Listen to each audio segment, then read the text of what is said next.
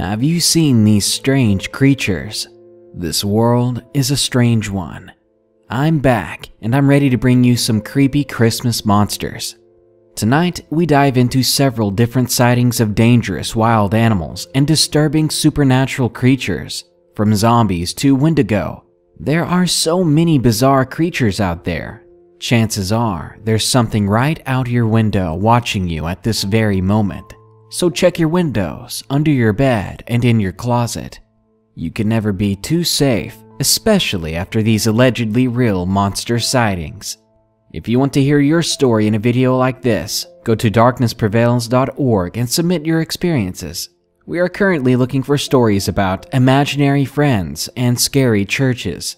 Thanks. Now, the nightmares are coming back with a vengeance.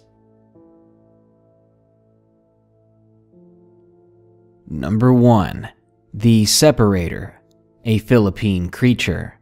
Submitted by Earth Cake. First off, a separator is one of the Philippines' most frightening creatures. It hides in the form of a woman. These women often strike on small towns and houses in the woods. They often feast on children after abducting them and killing their mothers, but they also kill other people. But before they start their killing frenzy, they have to separate their upper body from their lower body. They do this in the comfort of their own home or dwelling, somewhere where they feel safe, where they think no one can find them, like abandoned buildings or caves. Its lower body can even stand on its own, and if you're close enough, you can see some gruesome things. Both halves of the body are connected, and they can feel when the other is being disturbed. Now, this brings me to my sighting. This happened during the nighttime. I got up to get a glass of water. It was almost 6 in the morning, so I was still tired. I quickly got my water and began to drink. I went to the stairs to look out the window. And that's when I saw the most bizarre and terrifying thing I've ever seen.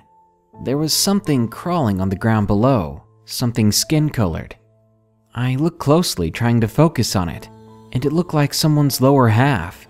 I nearly dropped my glass of water. I kept staring at the thing as it crawled. Soon I began to get creeped out, so I backed away from the window. I didn't know what to do, and I was afraid to tell anyone. My cousins and I don't really get along a lot of the time, and they like to tease me, and if they caught wind of me seeing something like this, all they would do is ridicule me and embarrass me. So I kept it to myself, no matter how much I wanted to tell someone. Later that night, when it was getting dark again, I went back to the kitchen to see if I could see this thing still. When I got to the window, I looked down, and it was still there, no longer moving. For a moment, I didn't feel as scared anymore, just weirded out. But a few seconds later, I heard this gasping or panting sound. I bent down and hid under the windowsill. After a few moments, my curiosity got the better of me, and I stood back up, looking out the window again. There was now a woman standing outside. She had long black nails, and her hair was white with streaks of red, like she used blood to dye her hair. Though I could barely see her eyes, I saw enough. They were dark as pitch, and she had this odd grin on her face. This wide grin revealed all of her teeth. They looked to be grinded down to a point. Suddenly, this wicked primal scream came from her. Her mouth didn't move an inch, but the shriek still filled the house. It was both painful and horrifying. Immediately, I ducked back down, thinking that she had noticed me. I was scared for my life and shaking at that point. I had heard stories of the separator before, and I knew what they were weak against. Trembling and fearing for my life, I crawled over to the table and I grabbed some salt. As I crawled back over to the window, the screaming stopped after a few moments, I gathered the courage to stand up again, and she was gone. All that remained was that lower half of someone's body. Now, I forgot to mention that there was no glass in these windows, and that might be part of the reason I was so freaked out. Because if she did see me and wanted to, she could come to the window and pull me out or crawl through herself. So immediately I poured the salt onto the lower half. I then ducked back down below the window, because if that was a separator, it would know that I poured salt on it, and it would be back soon. For the longest time, I sat there, still and silent, listening to what may come outside the window, but I heard nothing. It seemed like an hour or two passed before I finally stood up and looked out the window again. But this time, there was nothing there, and the lower half was gone. Still terrified, I ran up to my room and tried to go to sleep, though I didn't. The next morning, I built up some courage and I ran outside to where the window was. And there on the ground, where I saw the lower half, there was this mark like something had been burned there, and I swear it wasn't there before. We don't burn things there at that part of the house. This feeling of relief and fear filled me. This sight told me two things. One, I stopped and maybe even killed the separator that was stalking our yard. And two, there are things out there that we don't understand. Deadly, dreadful, terrible things. Because a terrifying piece of my folklore was standing right outside my window. I don't know what it would have done if I never poured the salt on it, and I just hope it's gone for good. Number 2 Suburban Zombie. Submitted by Krylif. This happened to me about one year ago, which would make me 16 at the time. It was early in the winter, and I would often go out for walks and just enjoy the cold nights. Winter is my favorite season after all, and I love the cold. This night, however, I didn't feel like walking very much, so I just decided I wanted to sit down in the backyard for a while and look up at the stars. I pulled on my warmest jacket I could find and I said to my parents that I was just going out back and I wouldn't be out for long. God, I didn't know how right I was. I opened the sliding glass door and made my way over to our picnic table to lie down. Normally, the ground would be more comfortable, but the grass was wet that night. I lay down on the table and tried my best to get as comfortable as you can while laying on a wooden table, but I couldn't shake the feeling that I wasn't alone out there. Now, I consider myself mildly paranoid and I have anxiety issues, so feeling watched wasn't uncommon for me, but this time it was different. Much, much different. I looked around for only a brief moment, and that's when I saw it, and I froze in fear. I remember it in very vivid detail. It was standing upright between a bush and a tree in my neighbor's backyard, only about 35 feet away. Its eyes were nothing but black holes, and its skin was a dark, grayish, nasty green. The skin around its mouth was torn away, revealing strangely sharp teeth and dark gums. Yet it was standing perfectly still. But it wasn't the kind of still a tree trunk would have. It was still like a predator before it strikes. My first thought was to not make any sudden movements, trying my best to hold back tears so I could still see the dang thing. I got up slowly from the table and I lowered myself to the ground, not once breaking my vision from it. I backed away really slow until I felt like I was close enough to the house that I could bolt and I charged as fast as I possibly could, opening the door and slamming it shut in an instant. I could not manage to sleep at all that night. It was the only time in my life I've had such an instinctive fear that if I didn't run, I would die. I told myself over and over my mind was just playing tricks on me, and that it was just a stump or a tree or log propped up against something and it looked funny but I checked the next morning, and there was nothing there in the spot that it was standing. There was nothing that I could have mistaken it for.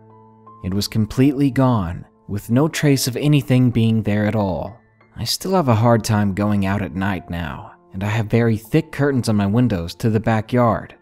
But before I go, just a quick word of advice. If you're planning on walking around at night, at the very least, bring a friend or a family member. Trust me, you won't regret it. Number 3. A monster is watching me sleep. Submitted by Robert. My name is Robert, but my parents and friends call me Junior, and this happened around two years ago. I was 11 and I was sleeping in my brother's room. I was asleep, but something woke me up. I heard what sounded like a low growl. I shook it off as my mind playing tricks on me I was very exhausted, very tired. By that time, though, I was thirsty, so I decided to get up and go downstairs to grab a cup of water. I entered the kitchen and got my drink. When I got my glass of water, I heard yet another low growl, and this time it was starting to freak me out. But I had no idea what I was hearing. I went upstairs a little faster than I came down. I went back to my brother's room, and this time I lifted the blinds to let the streetlights illuminate the room. And after that, I fell asleep on the floor with my black blanket. This made me feel a little better. The black blanket blended in with the corner of the room. But not too long after, I sat up to the sound of a woman crying. I opened my eyes to see this thing that will haunt me for the rest of my life. This creature was sticking to the wall of my house. Its skin was a grayish color. It had long, skinny limbs that seemed to bend in the wrong way, its mouth making a crying noise, and its torso seemed too small to carry the rest of its body. I let out a quiet, oh my god. But it seemed to hear me. I saw its head poking around, trying to find where the sound came from, but it couldn't seem to find me, so I just stayed still, watching this thing just outside the window, looking in, peeking around. I swear it was there for several hours until the sun began to come up. Then the thing staggered away, out of view, and I did not dare get up and look out the window. I don't know what that was that night, but it was definitely the most terrifying moment of my life. We moved out of that house three months ago. I've never told anyone this, not even my family, and I hope this is a safer way of telling others. Hopefully, some of you will believe me. Number 4 Red Eyed Horror. Submitted by J Ben 01. I've had an urge to share this story for a long while. The following events that you will hear happened up until about two months ago. I live in the country in Middle Tennessee, and I have grown up in the woods all my life, and I walk through the woods around my home all the time. Let me describe to you the layout of the property. This will help with the story. My house is set in a small flat area that has a few trees around it. Behind it, about 50 yards, is the shop and dog pen. Then to the left of that, there is a big open field, and behind that field is a thick, dense forest. One day a long time ago, when I was really young, my dad and I were up late, and I was with him when he decided to get a late night snack, so we went down to the kitchen. As soon as we got down there, I felt the hair on the back of my neck stand up, and my dad pushed me back. I looked out of the window of the kitchen, and I saw these two glowing blood red eyes staring in at us. My dad picks up the first thing within reach, which happened to be a baseball, and he chucked it through the window and hit this thing. He hurried me back up to bed, where it took me almost the rest of the night to fall asleep. But right when I began to nod off, I was awoken by a faint scratch on my window. Frozen in fear, I didn't dare move, but I did glance to a place where the curtain didn't cover the window, and by God, I saw those same eyes. This scratching at my window has been going on for years now. Today I am 15, and I've grown some, and I've actually gotten used to the sound somewhat, until recently. It was an average Friday night, and I had a daily task of putting the dog away, something I'm not fond of. Our dog is a grown St. Bernard and holds his own against the other dogs. I grabbed my shoes and a light and a gun out of habit, and I headed out to grab the dog. I called and whistled for him, but he never showed up. So I go and make my way to the pen, a walk I always hated. After a few seconds of shining light on the ground as I walked, I started to see this glistening on the ground, like moisture. I knelt down and looked closer, and it looked like blood. As I continue on, there seems to be more and more of it. That is until something else glints in my flashlight's beam. It's the same red eyes that I've been seeing. Those same red eyes from long ago, when my dad and I went to get his late night snack. But now I could see these eyes were attached to an insanely muscular yet skinny figure. This creature must have been about 8 feet tall, with pale gray skin. Its head was rounded and dome shaped, with sharp fangs hanging out of the corners of its mouth. Its hands were long black claws, they ended in sharp points. At that moment, in sheer panic, I brought my gun up and without aiming, I fired twice. I highly doubt I hit the thing. But the moment I fired, the thing ran right past me, making a terrible hissing screech. It ran through the field, screeching all the way until it disappeared into the woods. The thing had run so fast through the field that I couldn't keep my light on it. Needless to say, I couldn't find my dog. The next morning, I got up with my dad to go investigate, and I go to where I encountered this creature, and I see what looks like burn marks where it was standing and leading off into the field. But we never found my dog. Better yet, the tracks we found in the field where I saw this thing matched the tracks that we found later under my window.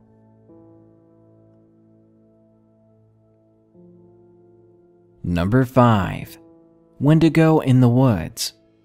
Submitted by The Vampire Man. This isn't my story, but rather one told to me by a friend a couple of years ago. The event she related to me took place somewhere in the northwestern United States. I'm from England, and my US geography isn't great, so please forgive any vagueness in regards to the location. Also, before beginning the story proper, I should probably provide a few details about the legend of the Wendigo, just in case anyone is unfamiliar. The Wendigo is a demonic half human monster that appears in the mythology of some Algonquian peoples. It's thought to be born when a human resorts to cannibalism and has three key traits that really depends on what mythology you're reading. 1. They eat human flesh. 2. They move extremely quickly. And 3. They can imitate voices in order to lure in prey. My friend, who for the sake of privacy I'll call Gemma, was about 13 or 14 at the time. She was in a car headed towards California with her father, her stepmother, and two younger brothers. At some point relatively early on in the journey, her stepmom says that a couple of miles ahead there's meant to be a really beautiful rock face covered in vines that she'd read about and that it might be a nice idea for them to stretch their legs and go look for it. Everyone agrees, not least because both of Gemma's brothers really needed to pee. So, a couple of miles down the road, they park up in front of these woods, through which the rock face is supposed to be. My friend's dad says that he'll supervise the two boys, while Gemma and her stepmom go ahead, and they'll catch up with them in a few minutes. So Gemma and her stepmom head off into the woods, one important detail to remember is that it had rained very recently, and so the woodland floor was very muddy. Nothing particularly eventful happened while the pair were looking for the rock face. Long story short, they never found it, as the stepmom had only a vague idea of where exactly it might be. However, as the woods were set on top of a sort of cliff, they did get a really nice view of the river below when they emerged out to the other side. Glad to have been able to at least stretch their legs after however many hours in a car, the two of them headed back into the woods. Gemma's dad and her brothers had not caught up with them like they said they would, so Gemma's stepmom was concerned that they might have gotten lost. The woods weren't that big, as far as they could tell, but it was still a possibility. Plus, the ground, as previously mentioned, was sodden with rain, so the mud could have slowed them down. So Gemma and her stepmom were walking back through the woods, and as they reached what was roughly the middle of town, from somewhere just up ahead of them, they heard the dad, who yells, Where are you guys? We can't find you. The two women roll their eyes, and one of them yells back, something like, We're over here, just head to the left, and then they carry on walking. They are most of the way back to the car when they hear the dad's voice again. Only this time, it's from some distance behind them, like the two of them had completely passed him without seeing one another. He yells the same thing again. Where are you guys? We can't find you. Mildly irritated, the two women yell back. Look, we're just gonna head to the car. We'll see you soon. When Gemma and her stepmom get back to the car, they find that the dad and the two boys are set inside waiting for them. Climbing inside, Gemma's stepmom asks the kids, Did you have fun? In reply to which the dad chuckles. We didn't bother in the end, it was too muddy and the kids were complaining. After they'd done their business, we just went back to the car.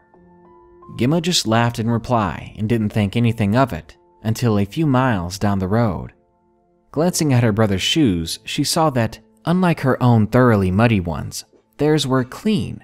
She asked her stepmom to check her dad's, and his were the same. It was highly unlikely that they would have been able to hear the dad calling to them from the middle of the woods if he was still by the car. And even if this had been the case, then how could he have been able to overtake them before beating them back to the car with enough time left to thoroughly clean their shoes? The voice they had heard was definitely his, and even if a stranger had somehow been able to imitate him, they hadn't heard or seen another soul while they were there in those woods. Gemma will never know for sure who or what it was that she heard that day, but being familiar with the legend of the Wendigo, she says that she's forever glad the two of them never came face to face.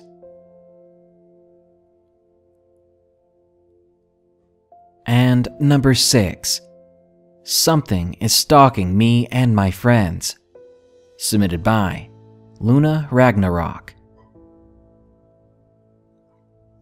Back in the summer of this year, 2016, and before I stopped going for my nightly walks and jogs, I was on my regular route and nearing my block. Keep in mind, it was about 10 at night, or somewhere around that, so the only light I had were porch lights and street lamps. Now, I don't take any hallucinogens, nor am I making this up, and I wasn't the only one who saw this thing. Another key point for this is the fact that I live in Florida, and this is where this happened. Not only this, but I have always been prone to paranormal or creature sightings. Anyway, on to the story. Like I said, I was out at about 10 at night, and I was walking alone before running into two of my friends. Let's call them Jane and Emma. They had just been to a party and were walking back to Emma's place for a sleepover, and I agreed to walk them over there, since they seemed a little on edge about being out so late. Sometime later, we were about five blocks from Emma's house, and we were just laughing and gossiping like teenage girls typically do when out of nowhere, I got this chill down my spine. The only way I can explain it was the feeling you might get if you're being stalked. I told my friends, and they reported the same thing. Like an idiot, I begged them to walk me back to my house since we were a block away at the time. They agreed, and to this day I regret begging them that. Maybe then none of this would have happened.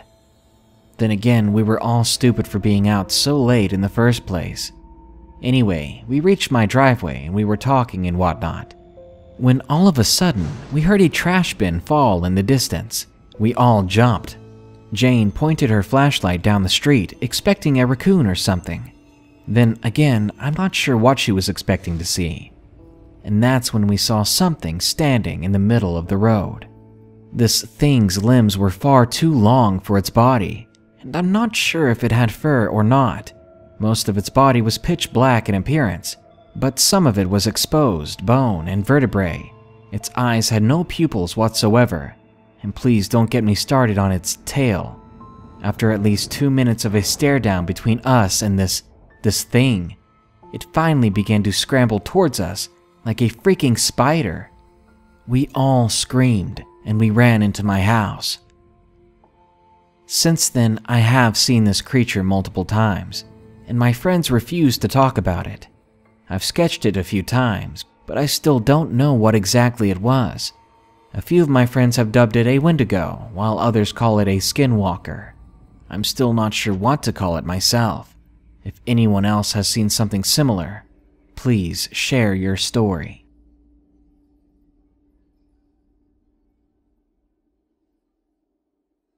Driving on these back country roads at night to visit my family these past few days, it really tells me something. I drove through a hundred miles of rolling fields, winding forests, seemingly endless nature. Despite all our cameras and mobile devices, this world is simply too vast to be completely sure that there isn't something out there. Something that hunts at night. Something that is never more than a few feet away when you walk the trails. There may be people all over the world and advanced available technology, but we seem to forget how big the planet is and how much uninhabited nature surrounds us. Good night. Be sure to like, share, comment, and subscribe if you enjoyed the video. And don't forget to send us your stories about imaginary friends and creepy churches. Just go to darknessprevails.org. I'll be waiting. Thanks.